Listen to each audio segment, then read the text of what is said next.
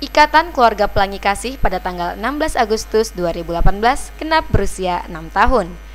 Dalam usia yang ke-6 tahun, Ikatan Keluarga Pelangi Kasih menggelar beberapa rangkaian acara sekaligus serah terima jabatan dari Ketua Ikatan Keluarga Pelangi yang lama kepada Ketua Ikatan Keluarga Pelangi yang baru. Dalam momen ulang tahun yang ke-6, Ikatan Keluarga Pelangi Kasih juga mengundang Horjani Dewati Hutagalung untuk memberikan tanda penyamatan sebagai keluarga baru di Ikatan Keluarga Pelangi Kasih.